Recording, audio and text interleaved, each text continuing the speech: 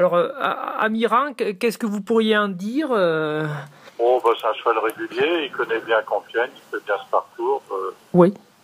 S'il ne pleut pas, c'en est le meilleur. D'accord.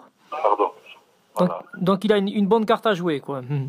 Oui, oui, oui, oui, oui, au moins une place, c'est sûr. Voilà, c'est un cheval régulier sur qui on peut compter. Oui, oui. D'accord.